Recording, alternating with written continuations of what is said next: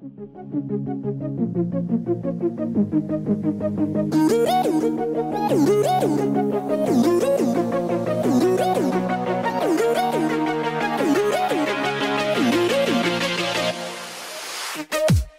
back.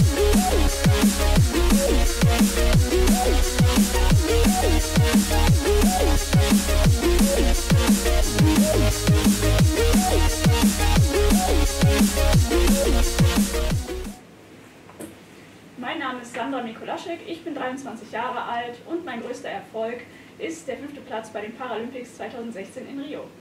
Ob mit oder ohne Behinderung, Tischtennis ist ein Sport für jedermann, also probiert's aus. Hi, ich bin Tom Schmidberger, ich bin 29 Jahre alt und bin zweifacher Silbermedaillengewinner von den Paralympics aus Rio. Ja, nirgends ist Inklusion so leicht wie beim Sport. Da gibt es fast keine Grenzen. Bist du dabei?